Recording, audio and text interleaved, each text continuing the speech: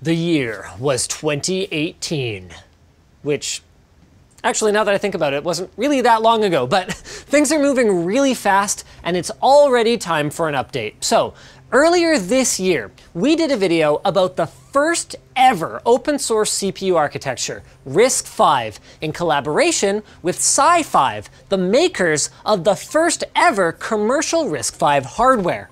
And today, Today we get to go deeper. So SiFive sponsored our trip down to their headquarters in San Francisco to see some early concepts of real hardware products that are being built using their IP. All the way from a normal SSD, like what you'd install in your PC or laptop, to a functioning media server. And it might not look like much, but buried under this mess of wires, as there so often is, there be treasure.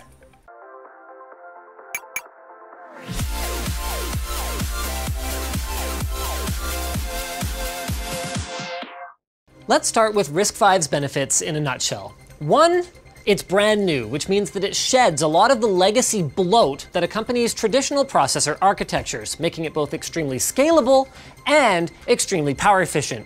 And two, it's open source, which means no expensive licensing fees for the companies that use it in their products. it always comes down to money, doesn't it?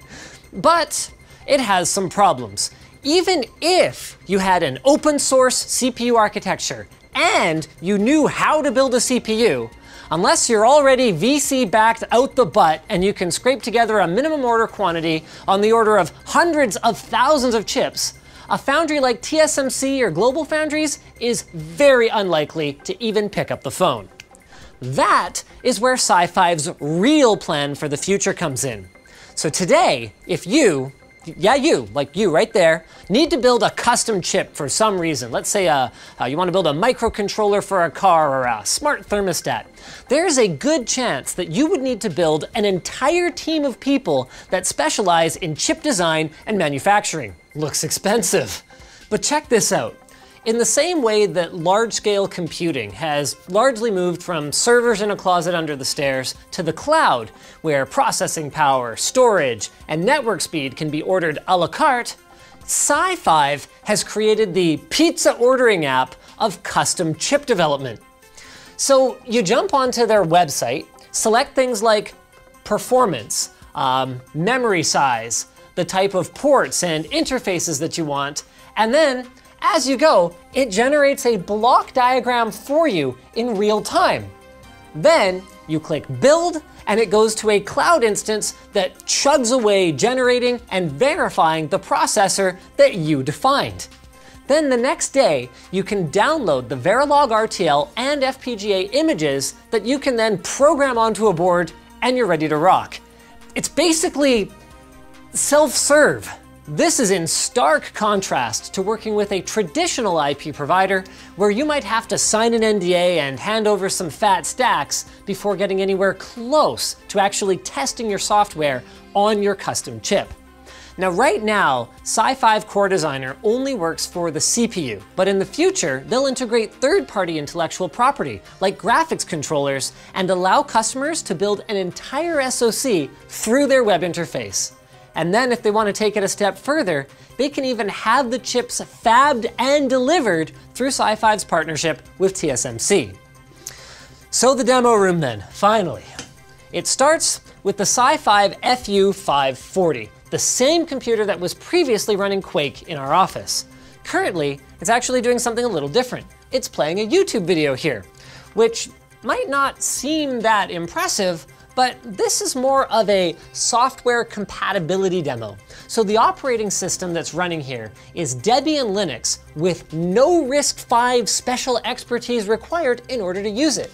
Now it's the daily update stream, so you can expect frequent updates, but if you wanted to install some random application, let's say Firefox, you just apt-get install.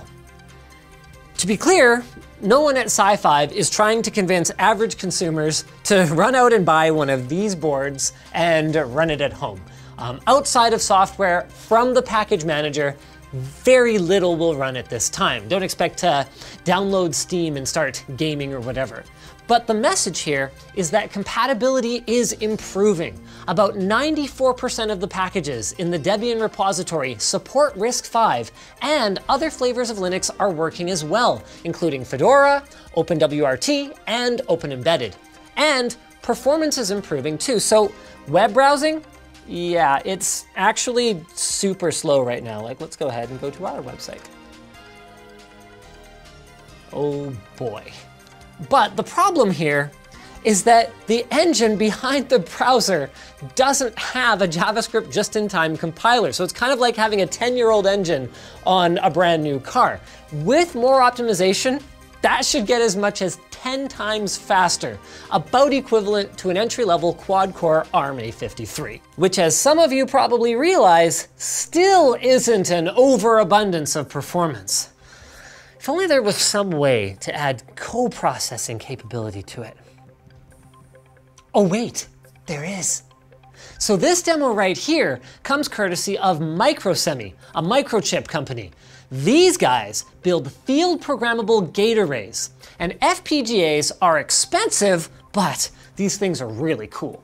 So basically, they're hardware chips that you can program to offload certain workloads to hardware rather than software, allowing your device to perform a specific task, in this case, computer vision, really, really quickly.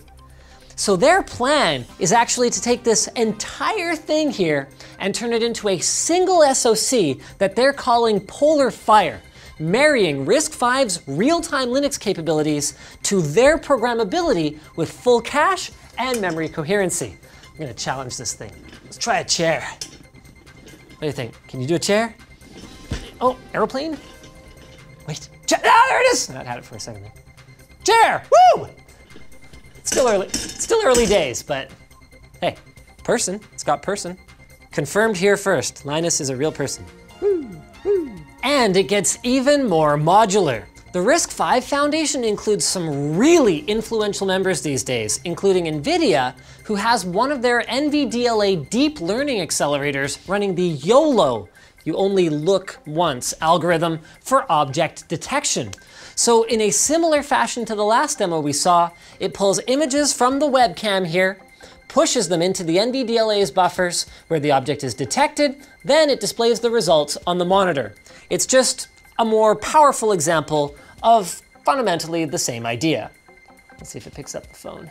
Yeah, look at that. And this scalability goes down as well. So this is SiFive's FE310 on a HiFive1 board. It's an embedded board that is physically compatible with Arduino, but with about 10 times the performance. So the demo we're looking at here doesn't look like much, but what we're seeing is that it can work on a computational task in the background and a real-time one, which is the blinking of these LEDs right here. So there is a performance penalty to our LED going off exactly on time, interrupting whatever else is going on, but for some applications like medical, for example, key tasks need to be performed right now. And actually, this design across the table from Upbeat is targeting the Chinese fitness wearable industry and is expected to show up in future devices from Huami. It integrates a similar E3 series core, but with extra IP, including a CNN or convolutional neural network and a graphics accelerator. It looks really big, but this is just development stuff. It's right there. Cool, huh? Now this next station is a little more relatable for PC enthusiasts. We talked at considerable length recently about the complexity of pushing SSD performance up when NAND flash performance has gone down in recent years. It requires very high-speed controller chips, and SiFive's partner Fadu is actually working on what they hope will be the fastest consumer SSD on the market with a planned ship date of Q3 2019. So this here is a Fadu ASIC with three SiFive E51 core IPs, so that's their 64-bit high-performance embedded core, and those are driving the SSD controller algorithms that do all of the page mapping and whatnot and Fadu claims that the SiFive cores were one third of the power and area of competing designs. Now, we couldn't plug it in to verify any of this, it's still very early stages, but here's something we were able to plug in.